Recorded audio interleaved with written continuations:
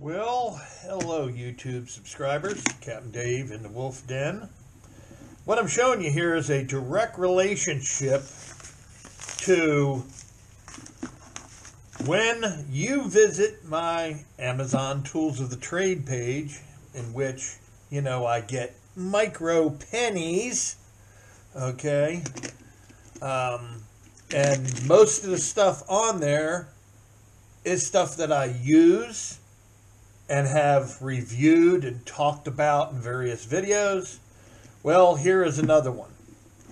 I had a couple bucks in my Amazon account and I decided, you know, there's one thing that you burn like matchsticks when you fish around here in northeast Florida, and I'm sure other places, is jig heads.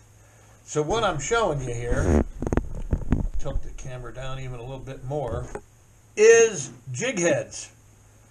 And these jig heads, the neat, let me get more light. Okay, there you go. These jig heads are now on my Amazon Tools of the Trade page. Always that link is in the video description below to my Amazon page. I've got tons of stuff on there. And uh, these are on there now. Okay. The hardest thing to do or to find is kind of quality jig heads, but aren't super expensive because around here you burn them like matchsticks. And what is the number one? I'd say the number one of all time fishing rig in Northeast Florida is nothing more than a jig and a shrimp. You can catch everything on a jig and shrimp. Yeah, if you don't know, jigs and shrimp weren't the big deal 25 years ago. And some of this started putting just shrimp on a jig head. And let me show you something. Well, there you go. St. Augustine Record newspaper. This right here is an article. That's me. And I took out the St. Augustine Record newspaper sports editor, Jim Sutton, and with jigs and shrimp, we caught redfish, jacks, ringtail porgies, bluefish, Spanish mackerel, yellowmouth trout, sheepshead, flounder, and little puppy drum this day on the South Jetty. Now, this has to be 20 something years ago. Okay. And he talks about in the article how we went through 20 dozen shrimp. And he says, why 20 dozen? The answer is simply that that's all we could find. So we got 20 dozen instead of 24 dozen. Because back then, at the St. Augustine Jetty, nobody was fishing it with a jig and a shrimp. And the monster yellowmouth trout, weak fish were out there. And you could burn them like no tomorrow. And that's what we did. So this is the article from years ago that's me and my old 23 Maycraft with a T-top on it, and I'm sitting on the fish box full of fish, sheepshead and a yellowmouth trout. That's back when I call it the good old days. So, there's a rich history, if you want to call it that, of jigs and shrimp. Now, back then, the only real piles of jigs you could find and ones that I used to buy were literally Bass Pro Shops sold lead headed ball jigs, freshwater ones with a fine wire hook. But that's okay. Because back then, we were using mono. There was no braided line. There was no trolling motor bullshit, GPS getting in the way of people that are anchoring. No.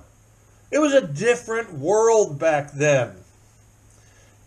We used jig heads. They had a fine little wire hook. They were made for bass, crappies, walleye, you know, whatever. And you could buy them in 25 packs. So I used to use six and eight pound test mono and an absolute buggy whip of a rod. Or you just pull the hook or bend the hook. But as time has gone on, and now with braid, you can actually up the hook. So these are the ones, these are some kind of black something hooks, and I mean ungodly sharp. Ungodly. Let me pull out another set of jig heads that I got here. Let me see. Here we go. Now these are some other ones that I've been using. These aren't on my tools of the trade page, but there's a half half ounce with an Eagle Claw Gold 635 hook, I believe. All right, so you can see these jig heads are very similar, very similar. Okay, you can buy these sometimes at Wally's World and you don't need a fancy jig head, man. All these, all these newbie wannabe hooyahs, as I like to refer to. Oh, they got to have the the swinging head, and they've got to have this, and oh, they got to do that for the sheep's head, and man. Them fish don't give a shit what you're using. If they're hungry, they're going to eat it. So that's a half ounce. I had some 3 eighths here somewhere, but that's the ones that are on my tools of the trade page that you can get through Amazon. I actually, I have two sets. Two sets. These are literally right here. These were the ones that are called At Atibin. Atibin Barb. A T A T I B I N. I don't know. That's the company or whatever. So uh, I'll show you how they come.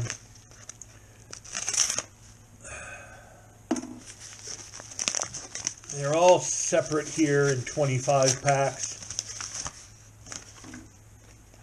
They come in this plastic little thing. And uh, let's see. They're all taped up, which is nice, so they don't just sit there breaking apart in the packaging. So that that's good. And you know the big deal is just the burnability. I mean, can you imagine how many I would use with four non-super fishermen? There's the Chinese writing. 10 grams, two odd hook, 25. But I mean, on a good day, you know, I could sit there and burn practically 25 of them with four people.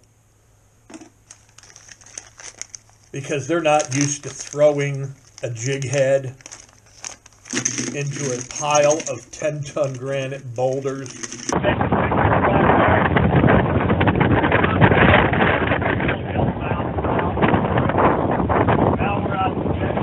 Covered in every piece of schmutzy growth that the ocean can throw at it. So this is how they come. And um, they were very reasonably priced. I mean, so I've got 75 of them here. I figured that'll take a while to burn these. I got a bunch of these in the boat. But uh, I just wanted to show them to you.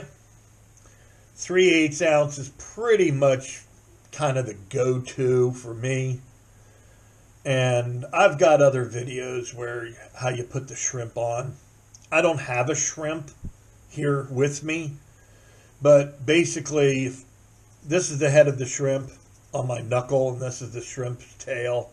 I always go one or two digits up all the way through, push it, and then back in.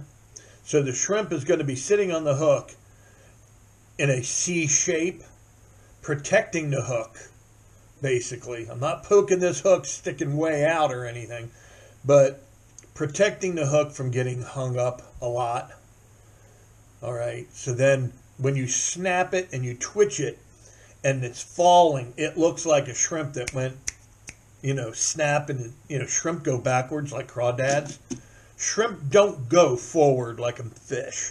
Shrimp go backwards. The only way they go forward is by walking or kind of swimming. But when they're scared, they snap backwards. There you go. Just a little bit of uh, tackle info here in the wolf den. they just got these just got delivered. Guess what? I forgot all about them. But you can find them in the link below. My Amazon Tools and Trade page. Plus, I put up another brand also because I'd like to try those. So I figured I'd throw up a couple different brands. So there's 75 jigs. Jigs, these ain't cheap anymore either even at Wally's World, they're not cheap anymore. And I mean, you only get them when you get these uh, six, six. Same thing with the three eighths ounce. Three eighths ounce, you get six. Six. I don't use six of nothing. So, all right. If you found this informative, and if you uh, might be interested in trying these, it doesn't matter if you're in Northeast Florida or if you're in South. I could go to Southeast Florida, put a shrimp on a jig, and pitch it up near some structure, and I could catch a fish. So it works anywhere. I'll see ya on the next one.